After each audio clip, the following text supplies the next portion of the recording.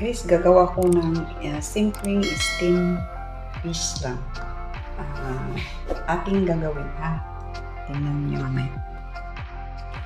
Guys, ito yung, uh, ito lang ang aking ingredients. Uh,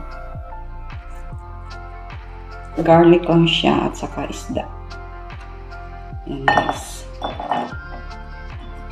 I-ano to siya. Uh, ipipisatin muna to siya. Tapos, may tubig at saka lagyan ng well. Yung isda. Ayan.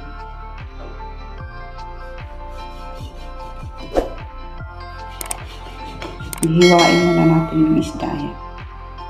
Ganun sila maghiwa. Ayan guys. Para papasok yung sauce dun sa loob. Guys.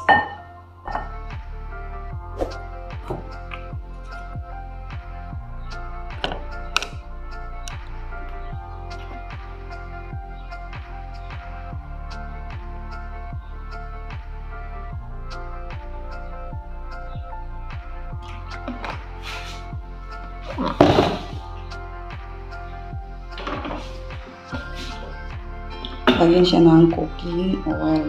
Kunti.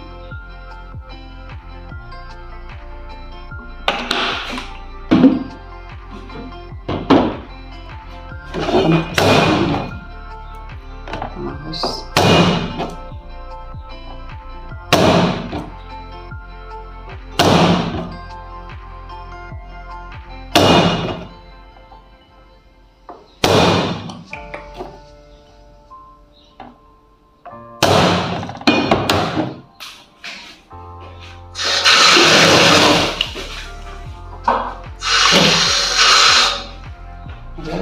tubig sa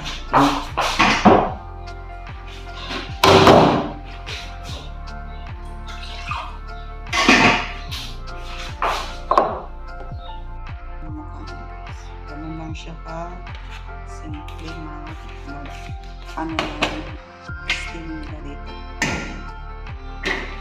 Yan ang gusto na matanda.